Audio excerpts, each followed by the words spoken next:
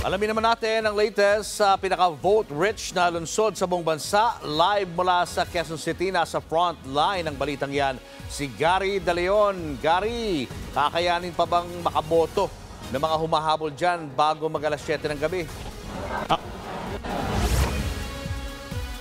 Gigi, sa magdidilim na nga at isang oras na nga ang botohan dito sa Quezon City, no? especially dito sa Kamuning Elementary School. Pero dito sa Precinct 1023 ay parang nagsisimula pa lamang. Kung makikita mo sa likuran ko ay punong-puno ng tao.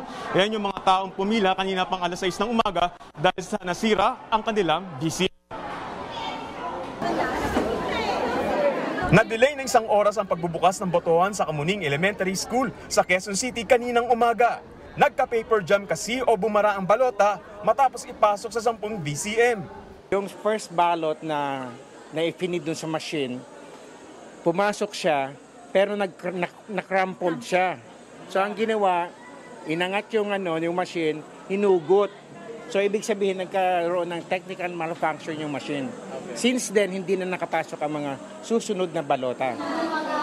Siyam na BCM ang agad na ayos ng Electoral Board. Pero ang BCM sa Precinct 1023, tuluyan nang hindi gumana.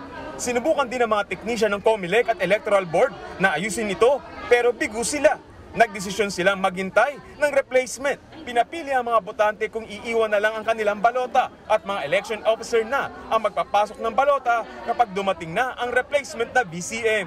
Pwede ring maghintay ang mga botante hanggang sa dumating ang bagong BCM at sila na ang magpasok ng balota. Tumawag sila sa COMELEC kasi meron naman COMELEC hotline.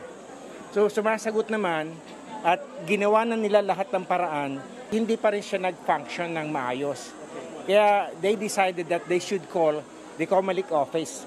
At ang solusyon doon, papalitan, replacement ng BCM.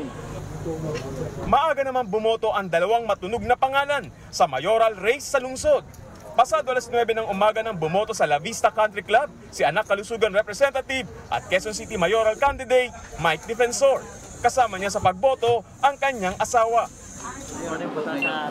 Mag-aalas 10 naman ng umaga nang dumating si incumbent Mayor Joy Belmonte kasama ang kanyang asawa sa Christ the King Seminary sa Quezon City.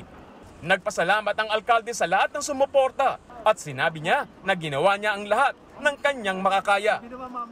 Dumating rin para bumoto ang ama niyang si dating House Speaker, Sonny Belmonte.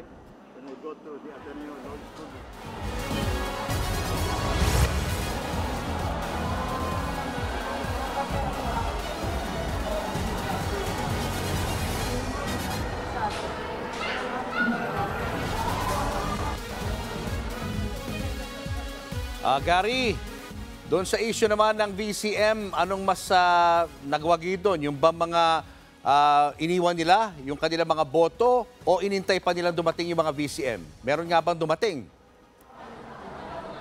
Ay, Hmm. Julius, kani-kanina bago tayo umere ay dumating na yung technical team ng COMELEC at pinull out na nga nila itong BCM ng precinct number 1023. Pero yung kapalit ay hindi pa natin nakitang inakyat at nandito pa rin yung mga botante, no? 500 na botante ang inaasahang boboto nga sa 1023 na to, sa presintong ito.